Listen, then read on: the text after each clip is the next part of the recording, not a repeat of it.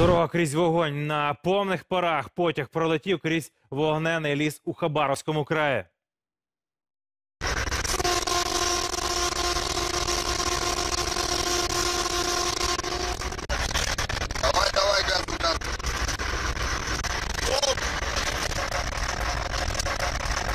Приголомшливі кадри відзняті з кабіни машиніста. Спочатку потяг огортає густий дим. На одному з відрізків дороги вогонь упритул наблизився до колій. Ззаду кадру чути, як хтось із членів бригади кричить Давай, давай газу. І здається, наче от-от спалахне сам поїзд. Вітер задуває полум'я просто на вагони. Та схоже, здолати небезпечний шлях потягові таки вдалося.